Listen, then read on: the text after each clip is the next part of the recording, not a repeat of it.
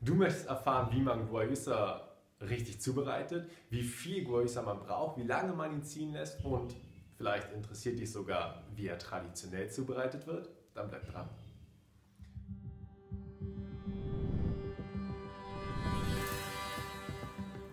Herzlich willkommen. Ich bin Sebastian, der Gründer von Guya und bei Guya dreht sich alles um Guayusa. Nun, wie viel Guayusa brauchst du denn eigentlich, um dir eine Tasse oder auch eine Kanne Guayusa zu, zu bereiten? Ähm, ich empfehle, nimm einen Teelöffel für eine Tasse und einen Esslöffel für eine Kanne mit einem Liter.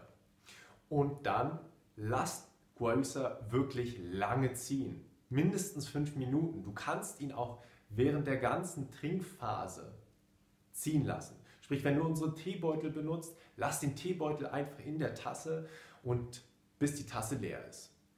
Und wenn du eine Kanne hast, lass das Sieb oder ähm, den ja, eigenen Teebeutel so lange im Sieb, bis die Kanne leer ist. Es schadet dem Geschmack absolut gar nicht, es verstärkt aber natürlich die Wirkung.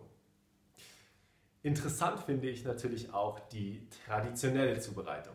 Denn im Amazonas haben die Kichwa natürlich keine kleinen Teebeutelchen, die sie aufbrühen mit ihrem Wasserkocher, sondern sie machen ein Lagerfeuer. Und auf diesem Lagerfeuer platzieren sie einen in der Regel metallenen Kochkessel oder manchmal auch einen, ähm, einen Topf aus Ton.